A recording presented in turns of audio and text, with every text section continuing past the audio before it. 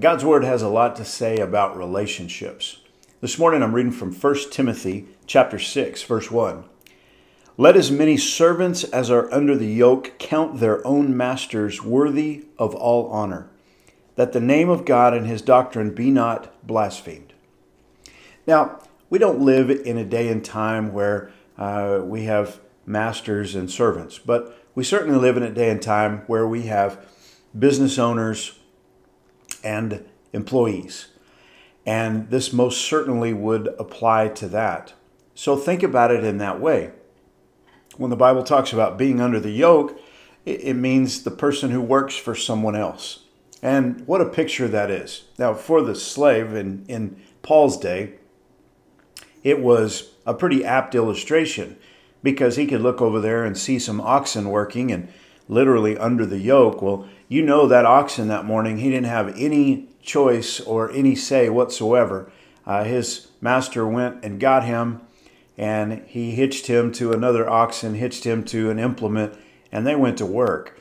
And when they were told to go forward, they went forward. When they were told to whoa, they woed. When they were told to gee, they geed. When they were told to ha, they ha. But the illustration for you and me is for those of us who work for someone else.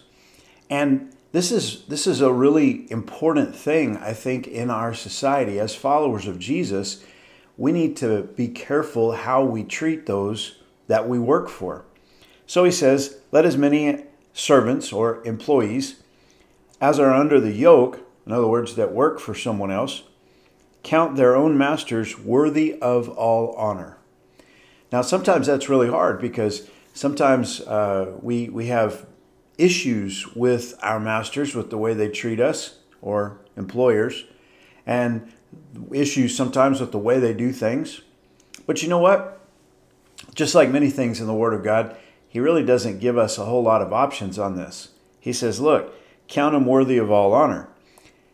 And here's why that the name of God and His doctrine be not blasphemed. The way that we treat those that we work for actually reflects upon our profession of faith that we are followers of Jesus. He goes on and says, And they that have believing masters, so sometimes we work for people that are not believers in Jesus, sometimes we work for people who are believers in Jesus. He says, doesn't matter, you still need to treat them with honor. And they that have believing masters, let them not despise them, because they are brethren but rather do them service because they are faithful and beloved, partakers of the benefit. These things teach and exhort. Now that's incredible because what he's saying is is that even in that day when when people literally were servants to other people, he says, don't despise them. If you're the if your master is a believer in Jesus and you are their servant, well don't despise them. And just do them service because he says they're faithful and beloved partakers of the benefit, the benefit of, of eternal life. These things teach and exhort. This is important that we teach these things. Well, let me ask you a question. If it was important and it was a, a an illustration of servitude and a good reflection upon the Lord Jesus Christ in Paul's day for a servant to serve their master and treat them worthy of honor and not despise them, but do a good job. Make a good hand, okay? How much more important is it in the day in which you and I live if we do the same thing, even though we're not servants, we're, we're employees? It's really important. The way that you act and treat your boss in the workplace reflects what you believe about Jesus Christ. I just want to encourage you today.